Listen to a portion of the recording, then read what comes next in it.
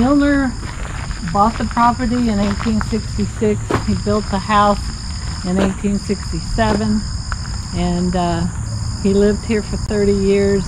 And he farmed and uh, moved on the.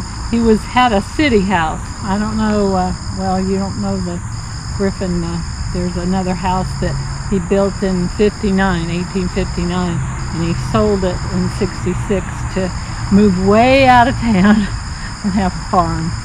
And this is one of Griffin's first dairies. Maybe. But they bring the cows in, 12 cows, and feed them here and uh, milk them there. And then if they pooped, you could clean out the trough. This is my brother and I. So I had the best people that had great ideas.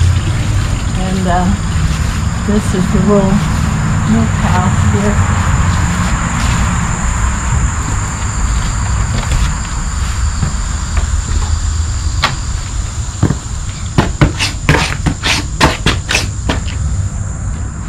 Tell me about this. Well, it, it was the milk house and um, they processed the milk.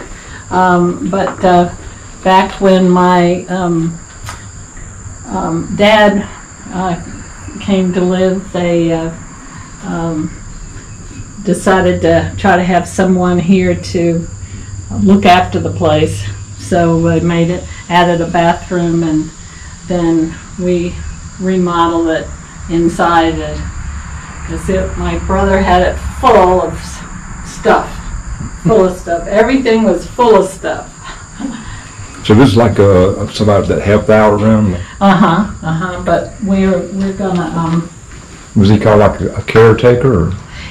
Yeah, it was a couple when I was growing up. It was a couple. Uh, let me let you hear this.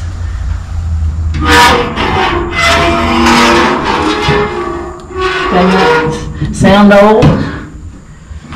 Oh yeah, this is an old table too. Yeah, that came from the apartment upstairs in the house. It's a perfect. You know, they used to run ads like in the. Uh, I used to get that years ago. The farmers market bulletin had the help one on the farm ads, and I thought it was pretty cool. You know, I was about you know 20, 18 years old. Uh huh. Well, um, I thought about it, but that's all it was, a thought.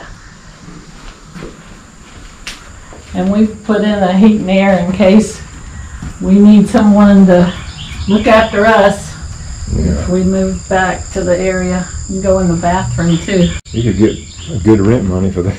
Well, yeah, and my son wants to, wants to do that, so to have a little Airbnb or something. Yeah. uh, to uh, stay if somebody wants to live on the farm. So, uh, Like vacation rentals by owner. yeah. I've used those. See, I'm just, I'm into just enjoying it, enjoying showing people.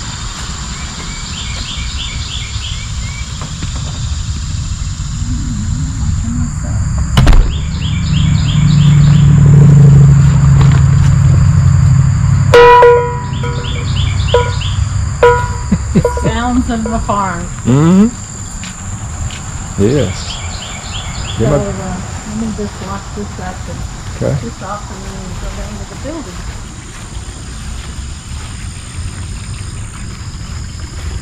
been something to see this back in that day when it was operating.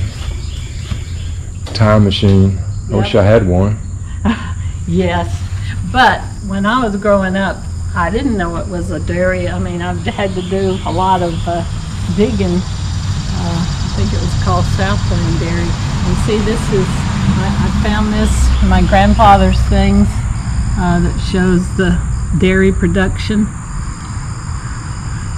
And then in 1930, they, the ice cream people wanted to rent the place. Wow.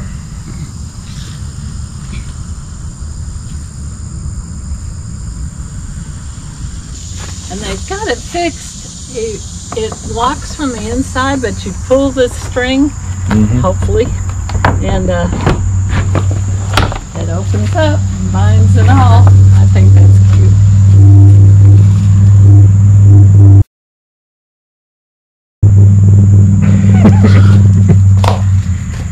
there it is, everybody. It's out of oil right now. There, waiting on the maintenance man. Yep. I like what the candle. Uh, we just put that in there. Yeah, I like the little got the little roof here. it's pretty nice. Yeah, that's great. Had to turn on the air. Oh, yeah.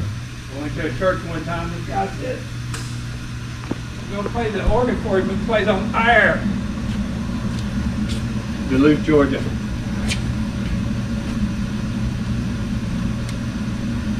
This part's a little organ. Crystal box over here.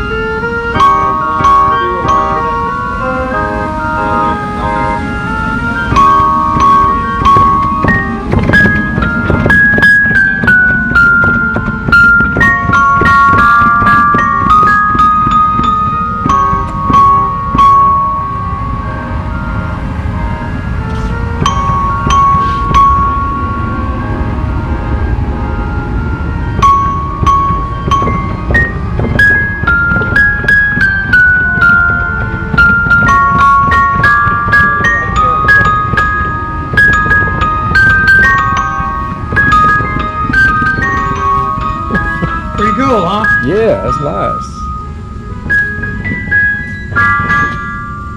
She can play that, uh, play her piano for you if you like.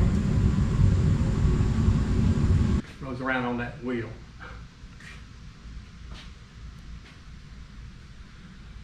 Ready? I'm ready. All right, I'm gonna give you the host feel what we do for everybody, so.